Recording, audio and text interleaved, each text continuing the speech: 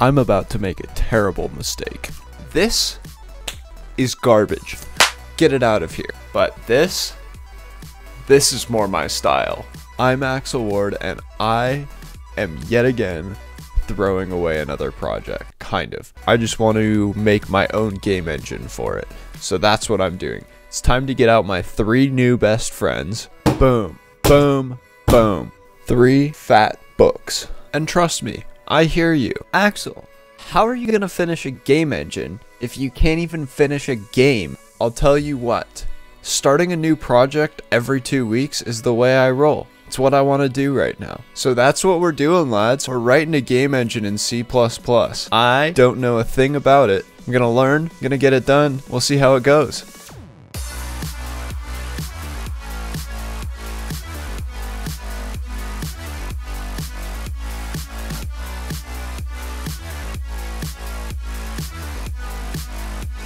That's a triangle. And that's a square. And now that's a colored square. And now that I have all this stuff, I have no idea what the f is next. So now it's time to get out one of my trusty best friends and start reading. And by golly, was reading a good decision. Like holy piss, I had no idea how much stuff I needed to do. But let's pause right there for just a second and talk about why I am no longer using Unity. First of all, I'm a programmer. I'm not an artist, and so I'd rather spend more time programming. And what better way to do that than program your own game engine in C++? Second of all, game engines are cool as and to write my own, that's even cooler. So those are the main reasons why. Also, like, learning and getting better at programming, but that's all like side stuff that doesn't really matter. And don't get me wrong, I still really want to make the SID initiative. I just want to do it in my own game engine. So I'm going to jump in and start working on a resource management system, and we'll see where it goes.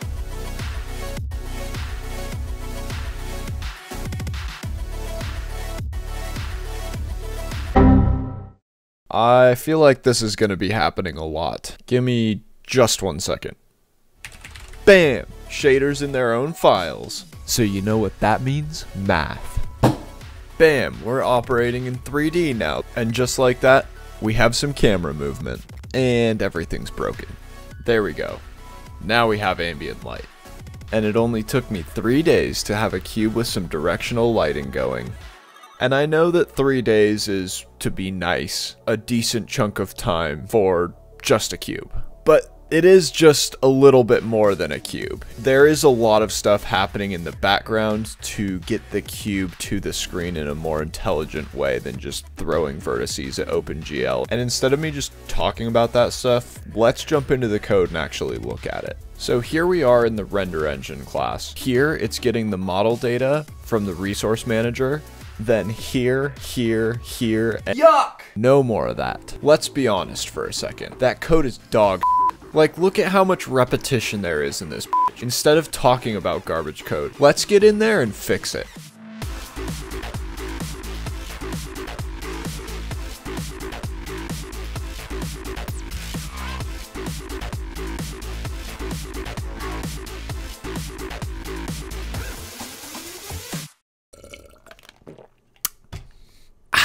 It's a new morning, and that's the feeling you get when you finally fix the bug that's been staring you straight in the eyes for an hour, two hours, maybe three, who knows.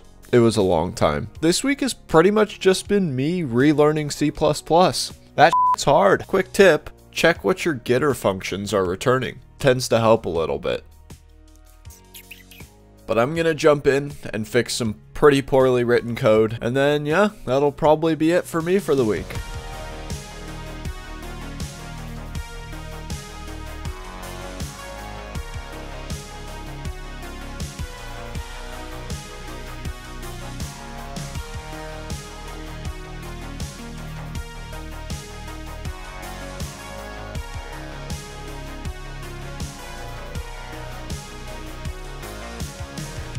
Okay, so now all of the engine components have been turned into singleton classes, which makes referencing them a whole lot easier and instantiating them a whole lot safer.